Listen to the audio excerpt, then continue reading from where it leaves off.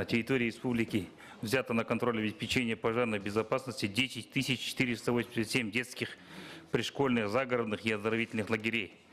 Проверка 4485 общеобразовательных учебных заведений, в которых планируется размещение пришкольных ла- лагерей, проведено в апреле месяце нашим министерством, в ходе которых выявлено более 21 тысяч нарушений противопожарной требований.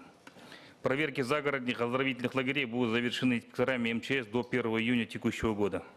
Основными нарушениями требований пожарной безопасности на данных объектах является неисправность или отсутствие систем пожарной автоматики, неукомплектованность первичными средствами пожаротушения, отсутствие огнезащитной обработки, неисправность систем внутреннего и наружного противопожарного водоснабжения, отделка путей эвакуации горючими материалами.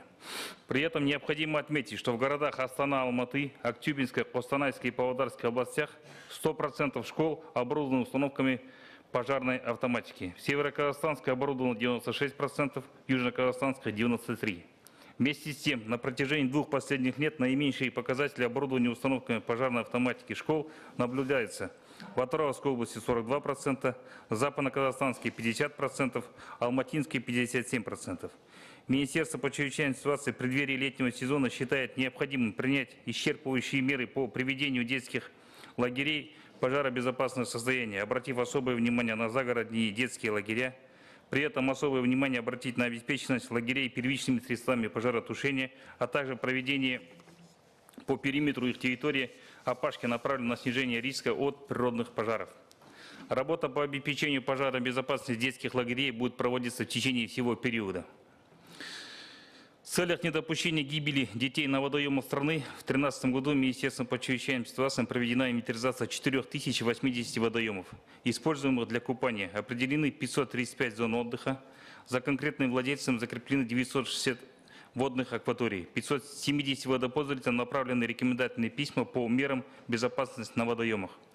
Период купального сезона на созданных детских пляжах вблизи водно-спасательных станций планируется обучение детей плаванию.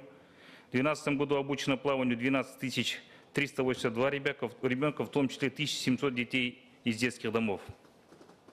В местах купания и отдыха установлены баннеры на тему «Поведение на воде, оказание первой медицинской помощи пострадавшим на воде».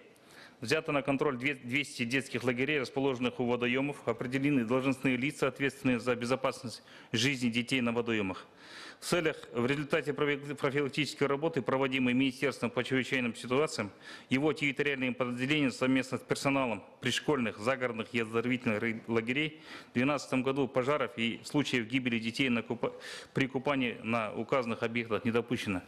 Я думаю, в 2013 году такая работа будет продолжена, и эти показатели не нарушатся. Спасибо за внимание.